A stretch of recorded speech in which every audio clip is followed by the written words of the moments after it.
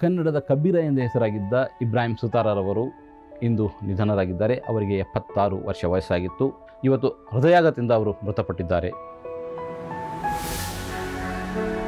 ಶನಿವಾರ ಬೆಳಗ್ಗೆ ಬಾಗಲಕೋಟೆ ಜಿಲ್ಲೆಯ ಮಹಾಲಿಂಗಪುರ ಪಟ್ಟಣದಲ್ಲಿ ನಿಧನರಾಗಿದ್ದಾರೆ. ಹಿಂದೂ ಮುಸ್ಲಿಂ ಭಾವೈಕ್ಯದ ಪ್ರವಚನಕಾರರಾಗಿ ಹೆಸರುವಾಸಿಯಾಗಿದ್ದ ಇಬ್ರಾಹಿಂ ಎನ್ ಸುತಾರ ಕಳೆದ ಕೆಲವು ದಿನಗಳಿಂದ ಹೃದಯ ನೋವಿನಿಂದ ಬಳಲುತ್ತಿದ್ದರು. ಇದಕ್ಕಾಗಿ ಚಿಕಿತ್ಸೆ ಪಡೆಯುತ್ತಿದ್ದರು. ಶನಿವಾರ ಬೆಳಗ್ಗೆ ಅವರಿಗೆ ಲಘು ಹೃದಯಾಘಾತವಾಗಿತ್ತು. ಕೂಡಲೇ ಕುಟುಂಬಸ್ಥರು ಅವರನ್ನು ಆಸ್ಪತ್ರೆಗೆ ಕರೆದೊಯ್ದಿದ್ದರು. ಇಬ್ರಾಹಿಂ ಸುತಾರ ಆಸ್ಪತ್ರೆಯಲ್ಲಿ ಕೊನೆಯುಸಿರೆಳೆದಿದ್ದಾರೆ ಜನ್ಮವು ಸಾರ್ಥಕವಾಗಬೇಕಾದರೆ, ಈ ಜನ್ಮವು ಸಾರ್ಥಕವಾಗಬೇಕಾದರೆ ಸನ್ಮಾರ್ಗದಿತ ನಡೆಬೇಕು. ಮಾನವ ಜನ್ಮವು ಸಾರ್ಥಕವಾಗಬೇಕಾದರೆ ಸನ್ಮಾರ್ಗದಿತ ನಡೆಬೇಕು. ಬಾಗಲಕೋಟೆ ಜಿಲ್ಲೆಯ ಮುಧೋಳ ತಾಲೂಕಿನ ಮಹಾಲಿಂಗಪುರದ ಇಬ್ರಾಹಿಂ ಎನ್ ಸುತಾರರವರು ವೈದಿಕ ವಚನ ಮತ್ತು ಸೂಫಿ ಪರಂಪರೆಯ ಕುರಿತು ಭಜನೆ, ಪ್ರವಚನ, ಸಂವಾದಗಳ ಮೂಲಕ ಜನರಲ್ಲಿ ಭಾವೈಕ್ಯವನ್ನು ಉಂಟು ಮಾಡ್ತಾ ಇದ್ರು. ತತ್ವಪದಕಾರರು, ಪ್ರವಚನಕಾರರು ಆಗಿದ್ದ ಇವರು ಇವರ ಸಾಧನೆಯನ್ನು ಗುರುತಿಸಿ ಎರಡು ಸಾವಿರದ ಹದಿನೆಂಟರಲ್ಲಿ ಪದ್ಮಶ್ರೀ ಪ್ರಶಸ್ತಿಯನ್ನು ಕೊಡಲಾಗಿದೆ. ಬಡ ಕುಟುಂಬದಲ್ಲಿ ಜನಿಸಿದ ಇವರು ಸಾವಿರದ ಒಂಬೈನೂರ ಎಪ್ಪತ್ತರಲ್ಲಿ ಭಾವೈಕ್ಯ ಜನಪದ ಸಂಗೀತ ಮೇಳವನ್ನು ಸ್ಥಾಪಿಸಿದರು.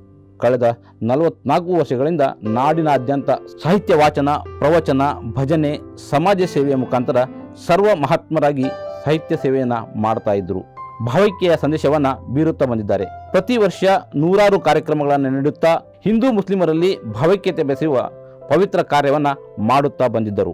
ಮೃತರು ಪತ್ನಿ, ಪುತ್ರ ಹಾಗೂ ಇಬ್ಬರು, ಪುತ್ರಿಯರ ಸಹಿತ ಅಪಾರ ಬಂಧು ಬಳಗ ಮತ್ತು ಅಭಿಮಾನಿಗಳನ್ನು ಅಗಲಿದ್ದಾರೆ. ಇಬ್ರಾಹಿಂ ಸುತಾರ ಅವರ ಅಂತ್ಯಕ್ರಿಯೆಯನ್ನು ಸಕಲ ಸರ್ಕಾರಿ ಗೌರವಗಳೊಂದಿಗೆ ನೆರವೇರಿಸಲಾಗುವುದು ಎಂದು ಮುಖ್ಯಮಂತ್ರಿ ಬಸವರಾಜ ಬೊಮ್ಮಾಯಿ ಹೇಳಿದ್ದಾರೆ. ಮಹಾಲಿಂಗಪುರದಲ್ಲಿಯೇ ಬದುಕಿನ ಸಂಧ್ಯಾಕಾಲ ಕಳೆಯುತ್ತಿದ್ದ ಸುತಾರ ಅವರಿಗೆ ನಾಲ್ಕು ವರ್ಷಗಳ ಹಿಂದೆ, ಅಂದರೆ ಎರಡು ಸಾವಿರದ ಹದಿನೆಂಟು ಏಪ್ರಿಲ್ ಎರಡರಂದು ಕೇಂದ್ರ ಸರ್ಕಾರವು ಪದ್ಮಶ್ರೀ ಪ್ರಶಸ್ತಿಯನ್ನು ನೀಡಿತ್ತು. ಈ ಹಿನ್ನೆಲೆಯಲ್ಲಿ ಮುಖ್ಯಮಂತ್ರಿ ಪ್ರತಿಕ್ರಿಯೆಯನ್ನು ನೀಡಿದ್ದಾರೆ. ಸರ್ವಧರ್ಮದ ಸಮನ್ವಯಕಾರರು, ಪ್ರವಚನಕಾರರು ಪದ್ಮಶ್ರೀ ಪುರಸ್ಕೃತ ಇಬ್ರಾಹಿಂ ಸುತಾರರವರ ನಿಧನದ ಸುದ್ದಿ ಇಂದು ಮುಂಜಾನೆ ಕೇಳಿ ದುಃಖವಾಗಿದೆ.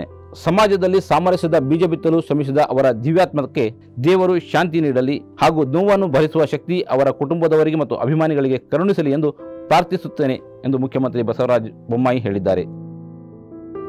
ಸಾಮರಸ್ಯದ ಕೊಂಡಿ ಸೌಹಾರ್ದ ಸಮಾಜದ ಪ್ರತಿಪಾದಕರು ಪದ್ಮಶ್ರೀ ಪುರಸ್ಕೃತರಾಗಿದ್ದ ಕನ್ನಡದ ಕಬೀರ ಇಬ್ರಾಹಿಂ ಸುತಾರ ಅವರ ನಿಧನ ತೀವ್ರ ದುಃಖವನ್ನು ಉಂಟು ಮಾಡಿದೆ. ಸುತಾರ ಅವರ ಅಗಲಿಕೆ ಸಮಾಜಕ್ಕೆ ದೊಡ್ಡ ನಷ್ಟ. ಈ ದುಃಖವನ್ನು ಭರಿಸುವ ಶಕ್ತಿ ಅವರ ಕುಟುಂಬದವರಿಗೆ, ಅಭಿಮಾನಿಗಳಿಗೆ ಭಗವಂತ ಕರುಣಿಸಲಿ ಎಂದು ಪ್ರಾರ್ಥಿಸುತ್ತೇನೆ ಎಂದು ಮಾಜಿ ಮುಖ್ಯಮಂತ್ರಿ ಎಚ್ ಡಿ ಕುಮಾರಸ್ವಾಮಿ ಹೇಳಿದ್ದಾರೆ. ಜನರನ್ನು ಬೆಸೆಯುತ್ತಿದ್ದ ಭಾವೈಕ್ಯತೆಯ ಕೊಂಡಿಯೊಂದು ನಮ್ಮಿಂದ ಕಳಚಿತು. ಇಬ್ರಾಹಿಂ ಸುತಾರರವರ ನಿಧನವು ದೇಶಕ್ಕೆ ತುಂಬಲಾರದ ನಷ್ಟ ಎಂದು ಜಮಾತೆ ಇಸ್ಲಾಮಿ ಹಿಂದ್ ರಾಜ್ಯ ಕಾರ್ಯದರ್ಶಿ ಮೊಹಮ್ಮದ್ ಕುನ್ನಿ ಅವರು ಅಭಿಪ್ರಾಯಪಟ್ಟಿದ್ದಾರೆ.